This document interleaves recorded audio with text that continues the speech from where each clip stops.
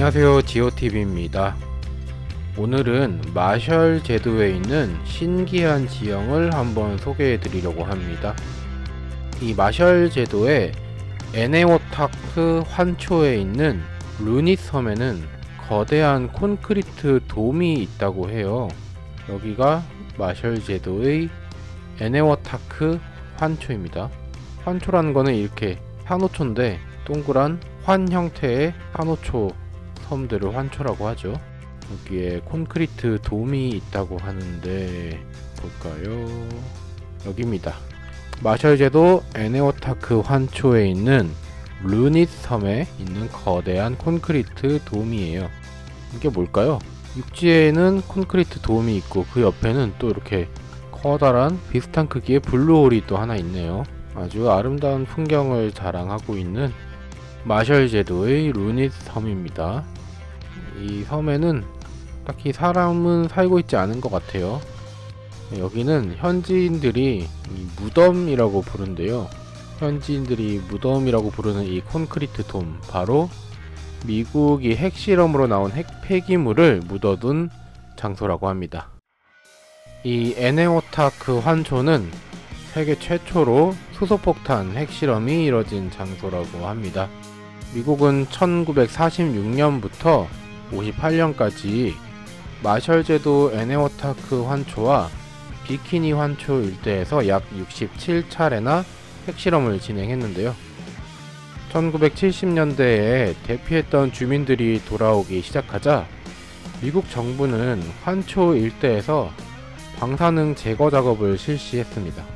뜬금없이 이렇게 깊은 골짜기가 생긴 곳이 아마도 핵실험을 했던 곳 그 흔적 같죠? 어, 바다에도 갑자기 깊어지는 곳이 있고요. 그 방사능 제거 작업을 하면서 오염된 흙과 쓰레기 등을 모아가지고 시멘트와 섞은 다음에 이 환초의 동쪽 섬인 루닛 섬에 위치한 아까 보셨죠? 그 107m 넓이의 폭발 구멍에다가 차곡차곡 집어넣은 거예요. 어, 여기입니다. 그 쓰레기 더미가 지상 7.6m까지 쌓이니까 접시 모양의 콘크리트 구조물을 만들어서 덮은 게 지금과 같은 무덤 모양의 콘크리트 돔이 된 겁니다. 위성상으로는 이게 돔 모양인지 잘 안 보일 텐데요. 사진이 있으면 한번 볼게요. 어, 꽤 거대하네요. 어, 이런 모습이에요. 실제로 보면. 꽤 유명한 지형이긴 한데 접근성이 좋지 않은 곳이다 보니까 사진은 별로 안 나오는 것 같습니다. 이 루니섬의 핵물질은 상상을 초월하는 정도라고 하는데요. 무려 7만 3천 톤의 핵 폐기물을 묻고 거기를 콘크리트 돔으로 덮어뒀다고 해요. 당시 마셜 제도에서 진행한 핵실험은 히로시마에 떨어진 원자폭탄의 1000배에 달하는 위력이었다고 하는데요. 그러니까 핵물질의 농도도 뭐 상상 이상이겠죠. 그리고 얼마 전에 후쿠시마 원전에서 이 침출수를 바다로 방출한다고 해서 한동안 떠들썩했잖아요. 또 어차피 태평양이 다 연결되어 있는 곳인데 마셜 제도에 묻힌 핵물질을 생각해 보면 후쿠시마만 문제인가 그런 생각이 들지 않을 수가 없습니다. 말이 나온 김에 마셜 제도 한번 둘러볼까요?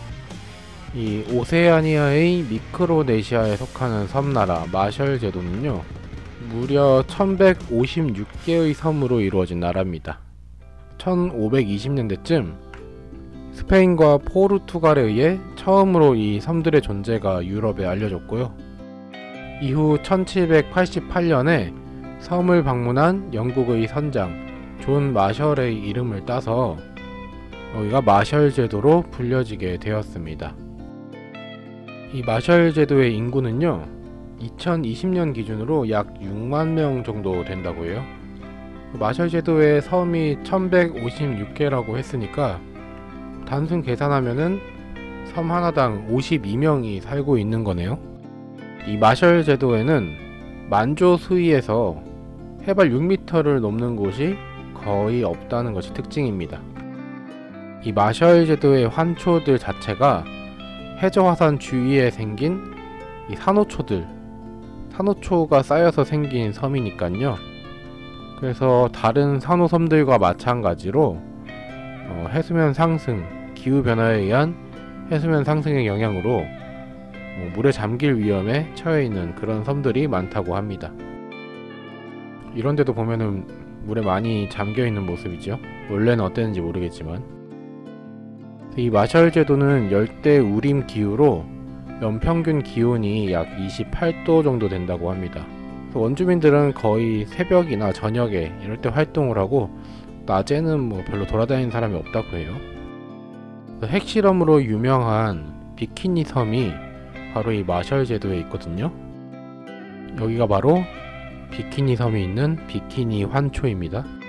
1946년 7월 1일에 세계 최초 원자폭탄 투하 공개 핵실험이 이곳 비키니 섬에서 이뤄지게 됩니다. 이 비키니 섬에서는 1958년까지 모두 23차례의 핵실험을 했다고 하는데요. 지금은 섬을 걸어 다닐 수는 있을 정도로 핵물질의 농도가 낮아졌다고는 하는데 그래도 아직도 이 비키니 섬에서 난 과일은 먹는 거는 좀 위험한 정도라고 해요. 이렇게 위성으로만 봐도 굉장히 아름다운 지역인데 여기가 참 핵물질로 그렇게 오염되어 있다는 게 음, 상당히 가슴이 아픈 역사죠.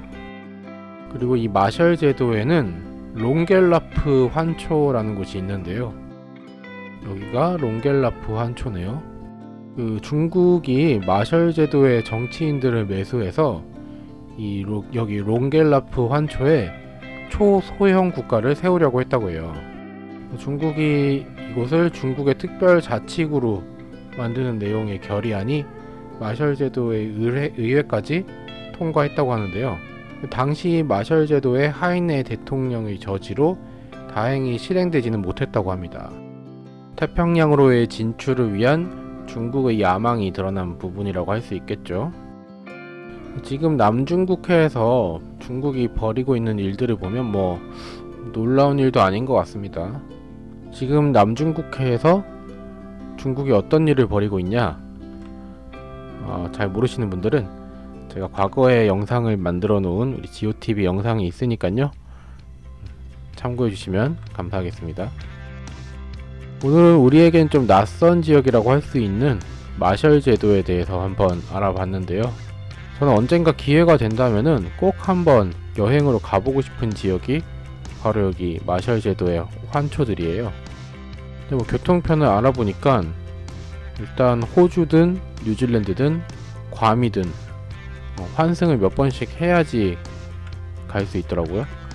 가는데 최소 하루, 오는데 또 최소 하루 만으로요. 그 정도 시간을 내야지 갈 수 있는 곳이라서 또 그것도 기상 상황이 허락을 해야지 그렇게 바로바로 바로 예정된 시각에 왔다 갔다 할 수 있겠죠.